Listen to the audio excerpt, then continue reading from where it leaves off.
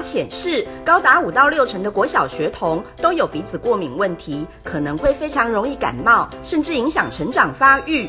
但现在有研究指出，居然也会影响大脑。鼻子过敏的话，它它是一种鼻子的慢性发炎。最近刚好有一些研究哈，是说鼻子过敏发炎的这些发炎物质，因为靠近脑很接近，所以小朋友反而会因为这样子，造成他们所谓的情绪不稳定，或者是精神分裂的比例是增加。